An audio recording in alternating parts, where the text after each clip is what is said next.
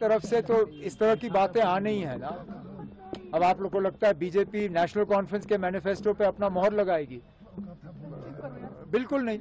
BJP को अपना house जो है, उसके तरफ़ देखना चाहिए। आज जो बीजेपी की हालत हुई, ये पहली, जैसे मैंने कहा, ये पहली बार मैंने देखा है कि बीजेपी ने अपना लिस्ट जारी करने के 10 मिनट के अंदर अंदर उस लिस्ट को डिलीट किया। आज उनके दफ्तरों में कुर्सियाँ तोड़ी गई।